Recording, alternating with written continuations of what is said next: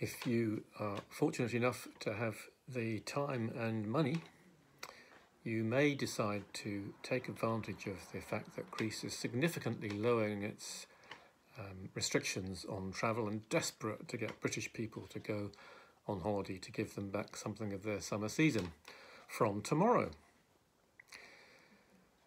And uh, if you were to look in your Greek phrase book on your way there for the word thank you, one of those rather important words, uh, you would see that the word is eucharisto. Uh, the very same word that uh, was around in ancient Greek. It's the same word, eucharisto, from which we get the word Eucharist.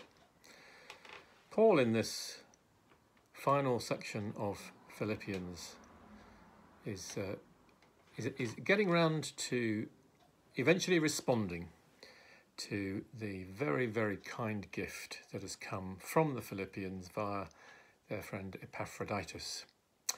And as Steve Kelly reads us that passage, I'd like you to listen very carefully to see how long it takes for Paul to actually say, Thank you.